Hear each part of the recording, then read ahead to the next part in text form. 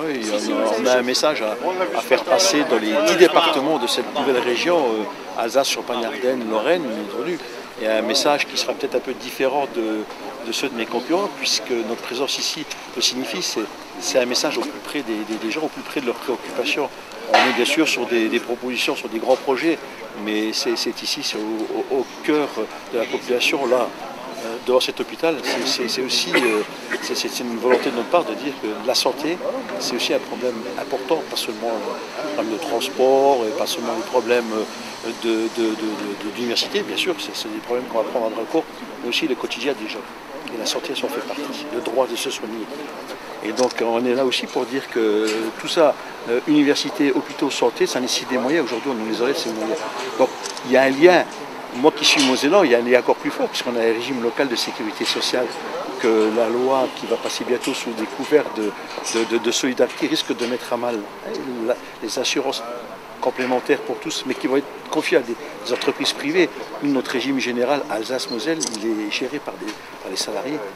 Donc voilà, la santé est liée aussi à ce, combat-là.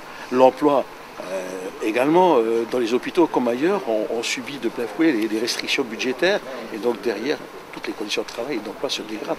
Donc tout est lié pour nous. Évidemment, on ne peut pas ne pas vous poser la question de la désunion euh, à gauche, hein, après le référendum socialiste. Comment vous assumez le fait de partir sans être euh, allié aux autres?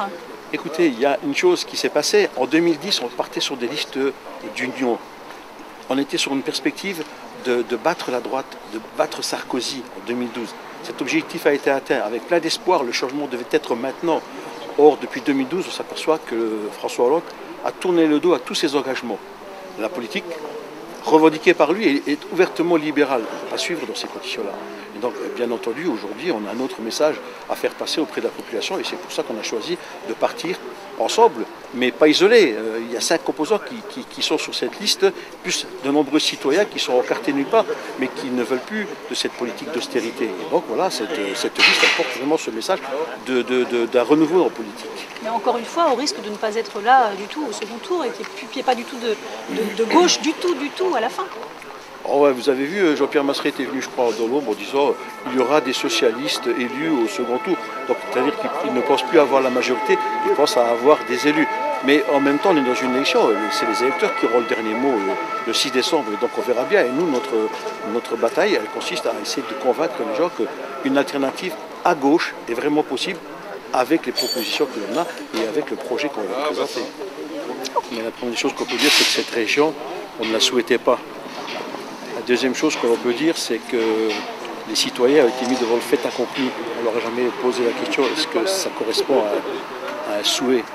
La troisième chose que l'on peut dire, c'est que l'étendue de cette région éloigne encore les centres de décision des citoyens.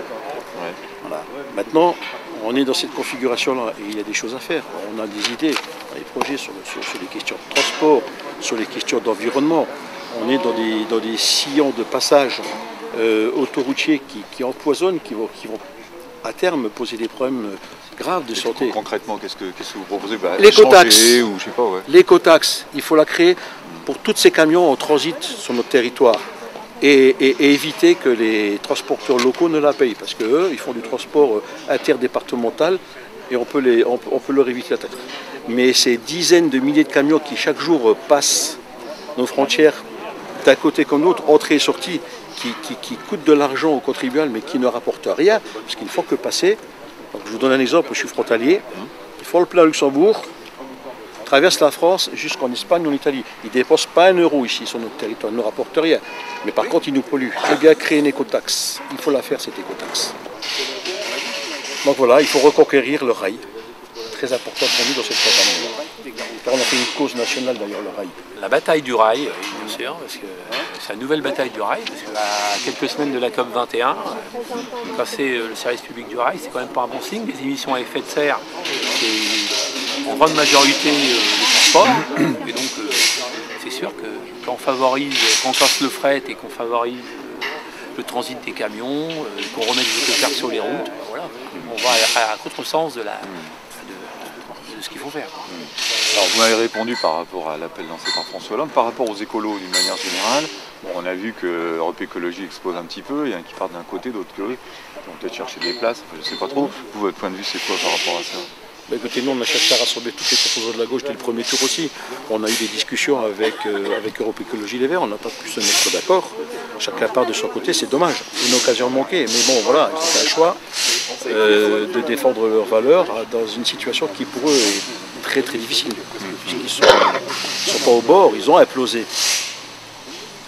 Voilà, donc euh, l'occasion a raté, mais bon, les, contacts sont, sont- pris et puis demain il y aura d'autres combats à mener qu'au fil des jours on arrivera à les rassembler, y compris euh, sur des terrains qui sont les leurs, euh, l'environnement, mais que- qu'on occupe également. Il y a un point qui est, qui est- qui est important, c'est que le Front National, si vous regardez bien les résultats, euh, en termes de voix, le Front National ne progresse pas tant que ça. Par contre, euh, ce qui fait mal à, à la gauche tout entière, donc y compris à nous, c'est l'abstention. Ouais. Les gens qui avaient mis tous leurs espoirs dans le changement en 2012, aujourd'hui s'abstiennent, ils ne vont plus voter, ils sont, pour la plupart, je vais utiliser le terme, ils sont dégoûtés de la politique. Donc nous, euh, toute notre bataille consiste à, retourner vers, vers eux et leur dire euh, la gauche, c'est pas seulement euh, le Parti socialiste, la gauche, c'est pas, c'est pas l'austérité. On a vraiment une alternative à leur proposer. Et notre combat consiste vraiment à faire venir ces abstentionnistes dans les urnes. Et ça, c'est difficile? Ça sera difficile, ouais. Tout le monde annonce déjà des taux d'abstention. On les a vécus dans, tous les, dans toutes les campagnes qu'on vient de, de- de passer, que ce soit les municipales, qui était quand même une élection où, où les gens venaient voter, mais là aussi on s'aperçoit que les participations reculent, même aux municipales, même les, les élites de proximité que sont les, les maires, les adjoints, même là on, on s'aperçoit que ça baisse. Et puis là, au mois de décembre, ce sera un bon mois pour les élections en France. Alors ça c'est un truc, euh, voilà. C'est. Je ne sais pas qui a eu cette idée-là, mais est-ce que c'est voulu ou est-ce que... Mais c'est c'est quand même une élection à une semaine euh, des, des- des- de Noël, c'est c'est- j'ai jamais vu ça. Ouais, ouais. Le changement, c'est maintenant. Maintenant, on va voter les jours de Noël.